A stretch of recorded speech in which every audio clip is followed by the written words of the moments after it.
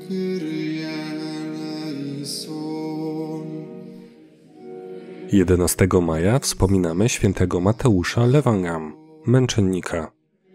Mateusz urodził się w 1813 roku w południowej części Wietnamu. Miał jeszcze czterech młodszych braci i siostrę. Pochodził z rodziny katolickiej. W wieku 15 lat pragnął zostać kapłanem i poprosił rodziców o możliwość studiowania w seminarium duchownym. Rodzice początkowo się zgodzili, lecz po kilku miesiącach przyjechali, by zabrać go do domu. Mimo iż byli zamożną rodziną, Mateuszowi powierzyli troskę o młodsze rodzeństwo. W wieku 20 lat Mateusz ożenił się i urodziło mu się czworo dzieci. Jako właściciel firmy wiele podróżował. Przez krótki czas związał się z pewną kobietą, lecz szybko zrozumiał swój grzech i zerwał romans. W duchu pokuty jeszcze bardziej okazywał miłość swojej żonie i jeszcze więcej czasu poświęcał wychowaniu dzieci.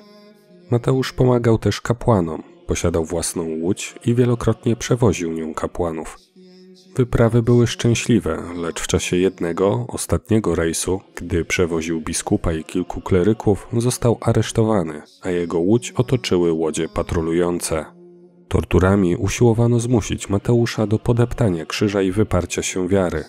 Cierpiał, ale wytrwał w wierze. Przez pewien czas przetrzymywano go też w izolatce. W końcu zginął przez ścięcie 11 maja 1847 roku, mając 34 lata. Jego rodzina przekazała jego dom i przyległy teren kościołowi. Obecnie na tym miejscu zbudowany jest klasztor.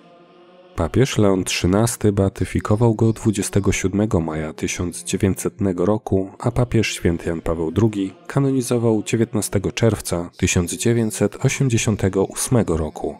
Mateusz jest patronem chrześcijańskich biznesmenów. Módlmy się. Wszechmogący i miłosierny Boże, obchodzimy dzień zwycięstwa Twojego męczennika, świętego Mateusza, któremu dałeś nieugiętą stałość w cierpieniach. Otocz nas swoją opieką i wybaw od zasadzek nieprzyjaciół.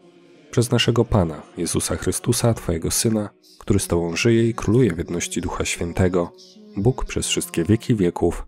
Amen.